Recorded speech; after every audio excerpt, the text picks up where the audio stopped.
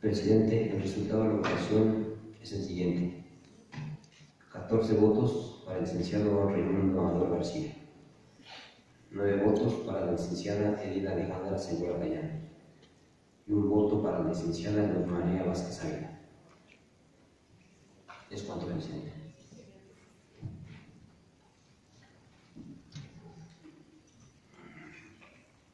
Gracias, secretario. De acuerdo al cómputo efectuado, se declara no aprobada la designación del consejero integrante del Consejo de la Judicatura del Poder Judicial del Estado de Tlaxcala. En consecuencia, y de, lo anterior, y toda vez que en esta segunda vuelta no se obtuvieron las dos terceras partes del total de las, y los integrantes de esta legislatura, como establece el artículo 85, fracción cuarta de la Constitución Política del Estado Libre y Soberano de Tlaxcala, se ordena la Comisión de Puntos Constitucionales, Gobernación y Justicia y Asuntos Políticos reponga el procedimiento desde la emisión de una nueva convocatoria designación del consejero integrante del Consejo de la Judicatura del Poder Judicial del Estado de Tlaxcala.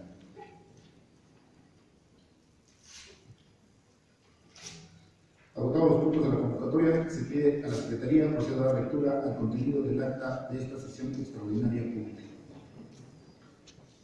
Con el permiso de la mesa, propongo se dispense la lectura del acta de esta sesión extraordinaria pública y se tenga por aprobada en los términos en que se desarrolló. Es cuanto, presidente.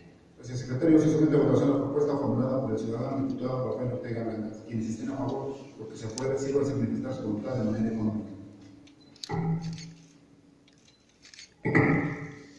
24 votos, presidente.